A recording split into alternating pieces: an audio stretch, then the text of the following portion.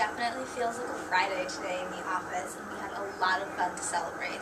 For starters, I uploaded the video from yesterday, the super secret surprise one. It's our first ever commercial, and in it, Braintree Printing comes to the rescue. We filmed another commercial today where Kevin and I compete for a million dollar grand prize in a game show about printing. In the game show, I learned a lot of new things, but the question that I got right, the fact that I remember the most, is that the binding on paperback books is called perfect binding. Maybe that's why they look so great. That video will be up on Monday, so be sure to check out our YouTube page. That's all for now. Have a great weekend.